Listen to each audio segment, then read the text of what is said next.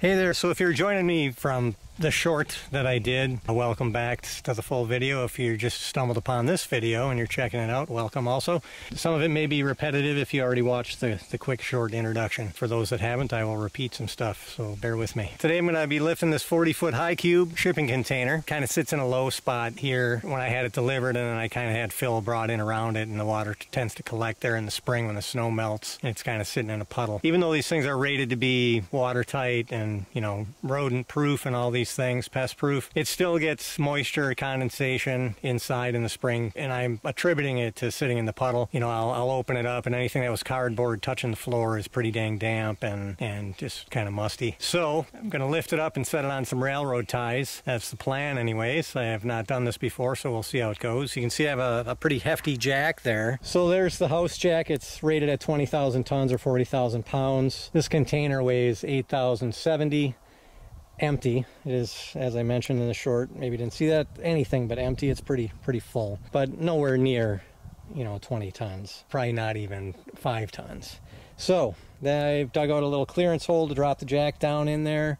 Gonna jack it up, hopefully, as the intention anyways, and then uh, put some railroad ties underneath there. And we'll go down to the other end and then basically repeat that. You know, I've got my railroad ties somewhat roughly in position already.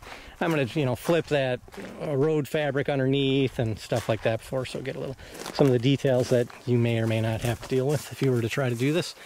And then on the back side, I'm calling the end without the doors the back side. I guess it's all orientation subjective. This side already has kind of a clearance built into the design. I'm hoping that that's not going to pinch shut. Well, I, I know it's going to pinch a little bit, but it's it's already a few inches bigger than it needs to be to accommodate the jack. And if I close it up enough that the jack doesn't fit, I'll just dig a little out there again. And then uh, put the railroad ties underneath, set it down, hopefully uh, relatively level. Doesn't have to be perfect. In fact, a little off is not bad to let water drain off the top. That's planned. So I'll get the jack in the hole. All right, so we'll get this beast in the hole. Pretty, pretty heavy.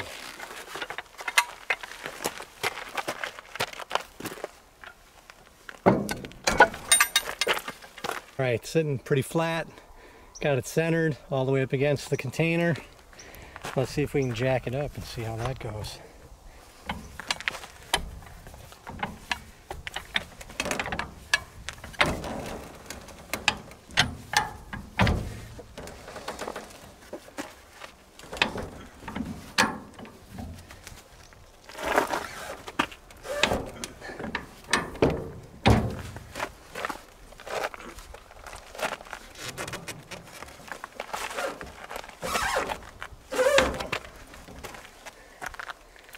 It's lifting up a little bit, but I'll tell you what, it takes some oomph to to get that thing, that jack to go. And I think once it gets kind of up to a tipping point, it'll go, it'll go better.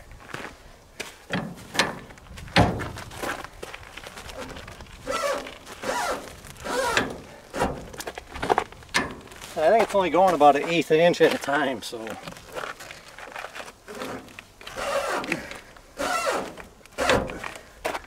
but I hear it click each time and I see gap underneath there. So it's going to take a little bit to do it. These jacks are, I believe it's for lifting houses and stuff that have settled over many years and you know, they usually recommend that you just give it like one crank a day, which is about an eighth inch, and let everything kind of resettle and reshape, and then give it a crank the next day. And it can be a lengthy process, you know, so you don't do some structural damage or have things going too fast. So, so I'll keep at this until I got it lifted up, and then we'll we'll show you how it goes. I won't make you sit here and watch me crank it each time. it's gonna take a little while, I think. Got myself a big old piece of pipe from a collapsed, dilapidated fence, and man, it's a breeze now. I mean, let's see, you get watch it go up and down here. I mean, I barely even, before I was bouncing everything I had on it. Now it's just going. Smarter, not harder, as they say. You can see it moving. Be done with this in no time with this pipe.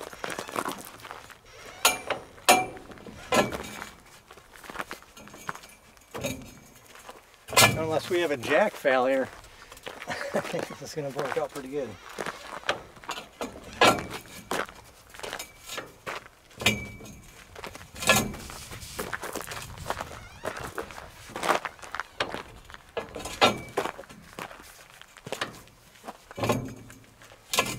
And I've been wanting to do this for a few years now. I think I got this container set here in 2018. It's now 2023, you know, so five years. September will be five years, September, October.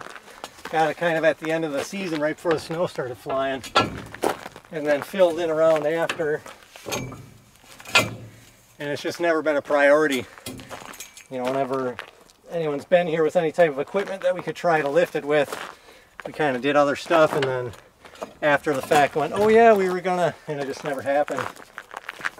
But look at that, I mean, amazing.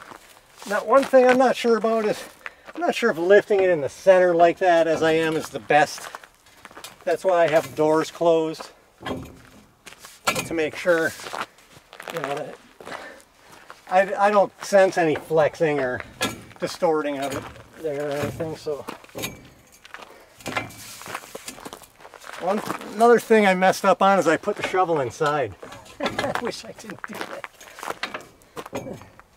I kind of want to carve this out here and yeah, wow, that's that's probably that's probably almost ready to receive that thing. I push it in from the end.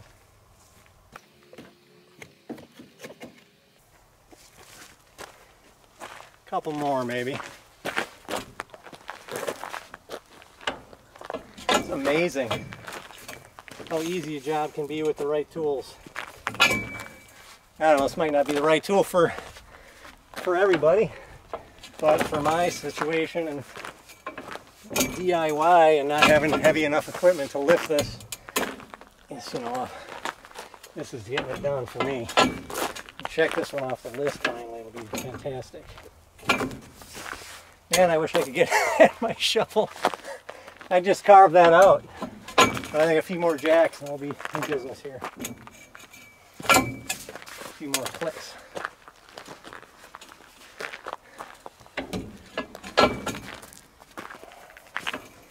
I also wouldn't mind sticking uh, sticking one across the front. Because I have put my truck in here in the past. But I guess the wheelbase would be out towards the outer edges. And it would be alright. But I wouldn't mind having a center support, and I'll add that once I get this, I guess, go from there.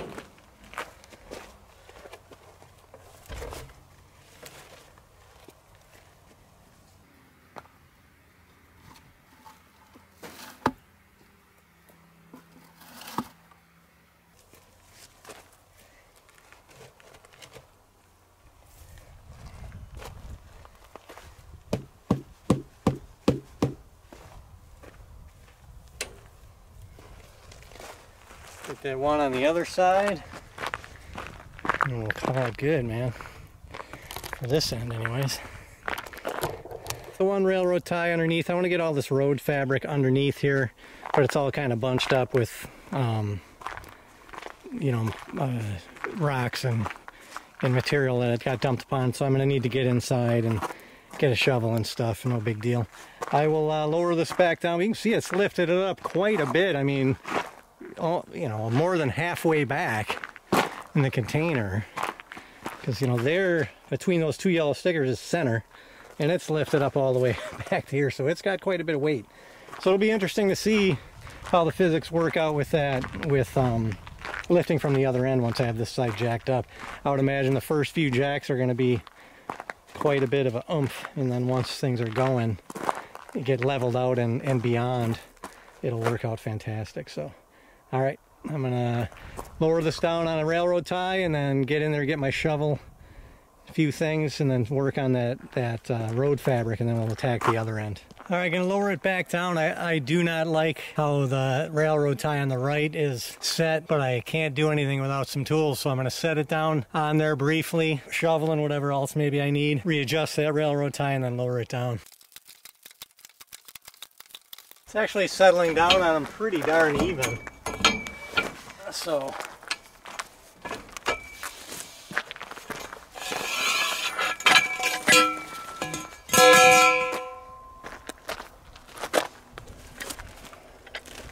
I don't need that. Probably lower that a few more clicks just so there's clearance to get it out of there.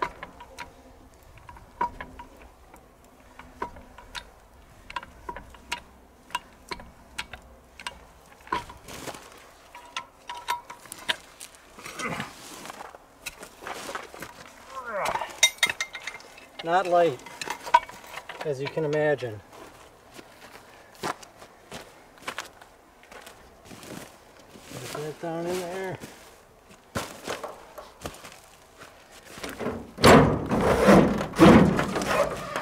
Door still functions, so it didn't bend it all out of, stored it all out of shape.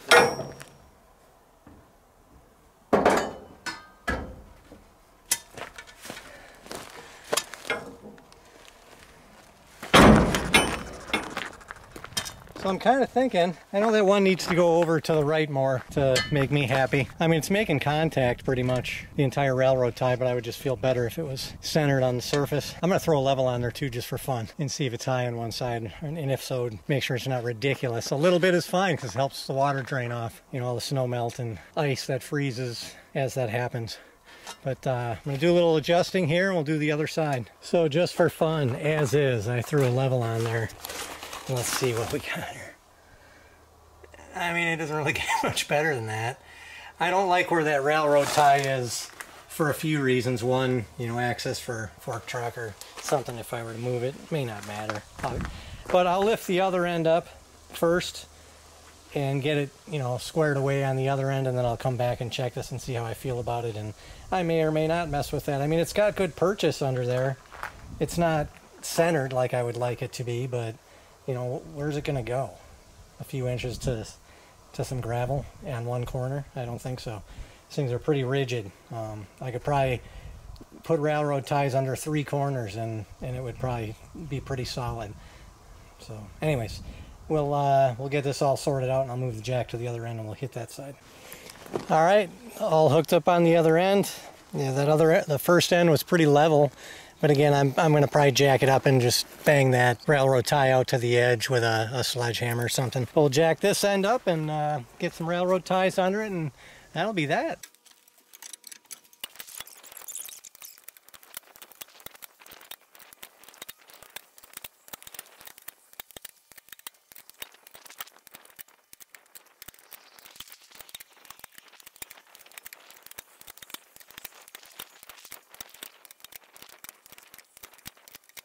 All right, I'll rest railroad ties under there and lower it back down and see how level we are.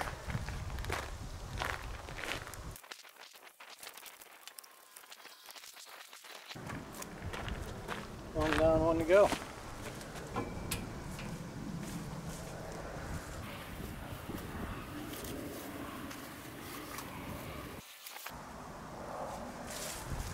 All right, so just because I have them and I can, I'm sure it would be fine spanning those railroad ties the way it is. But I have more. I'm going to put one in the middle on each side. But uh, I'll do that and then I'll check back in with you. All right, so I got six under there now. One at each corner and then one in the middle on each side. I'm going to lower it back down and we'll see how it sits and then I'll probably adjust that one up front again. This one here in the middle looks a little crooked though. When you look at it from the top, it looks okay, but go with that. So we'll see how it lands, throw the level on it, and then I'll adjust that one up front and call it good. But hopefully if you decide to do this yourself, it goes as well for you. I had the, a little bit of an advantage of the ground being somewhat level because I had a dozer in here and did a skim cut, you know, took all the stuff out the moss and growth off the top of the gravel. And this is a pretty established gravel pad from decades ago, well packed and settled. So just kind of had to level it off a little and then we dropped the container here. So now it was just a matter of getting it up. So leveling it wasn't as much of a challenge. But if I had to you know I'd just shim it with more wood other wood. I don't know that those other ones in the middle are necessary. It makes me feel better. You know I have put my truck in here in the past and you know just if there's going to be any flex or sag or anything you got that little extra support. So we'll lower it down now. Need a hammer to put the jack in a different mode into lowering mode Let's see here. It's lowering. It's touching that railroad tie on my right already. We got about an inch here. Yeah, it's going down. And it's getting easier now with some of the weight off. Yeah, there's nothing. It just didn't slip because I didn't bring this all the way down to engage it. It's free. So that's that.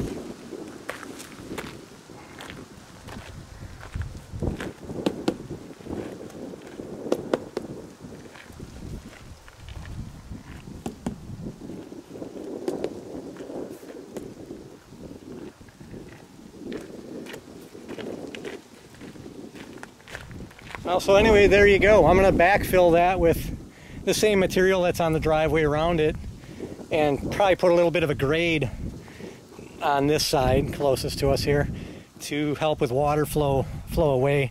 I'm sure it's still going to fill up underneath there, but it's not going to go higher than the driveway, so it'll always be out of the water. And then in the spring, I got to throw a few of those mosquito dunks in there. Otherwise, it's going to be a mosquito farm. But, you know, it's not making contact 100% on the railroad ties all over, but as things settle and expand and contract throughout winter, I bet you it's making great contact in the spring next year after winter. And plus with my backfilling, I probably overkill with six railroad ties, but I had them and that was the reason I got them. So wanted to use them. And I still want to, I'm going to build a little ramp in the front there. And, but otherwise it's, uh, I'm pretty content with that. So that jack did the job, man. I'd say I'd like to have one of those, but I don't know how often it's going to be that I would have a purpose, you know, other than this. So, check out the bubbles, see what's going on there. Set this here for just a second, and I'll check out the level inside the door there. Then I'm to mess, mess with this one, but you guys don't need to see that.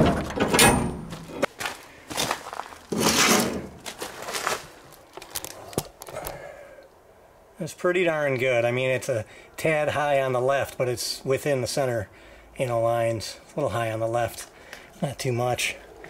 Let's see here. You know, I lift that up about a hair and it levels out. It's good to have some drainage on there. So anyways, hope you found that interesting, entertaining, whatever, inspiring. if you're thinking about doing it yourself, have at it, man. If you can get your hands on one of those jacks. Like I said, I'm just going to jack up this middle again and pound that right railroad tie a little more centered. It'll just make me feel better. And I don't know if you see, there's a four-wheel four-wheeler there. That's one I've got a ton of videos on. Well, not a ton, but quite a few videos on the channel as well. If you're a Polaris person and looking for some fix-it stuff as well as a bunch of Alaska related stuff and then other random DIY stuff. Every once in a while, whenever I do something that I think people might find interesting or unique or and I think it's worth sharing. That's what I do. Anyways, thanks for watching. Hope you enjoyed it, and maybe we'll see you on the next one.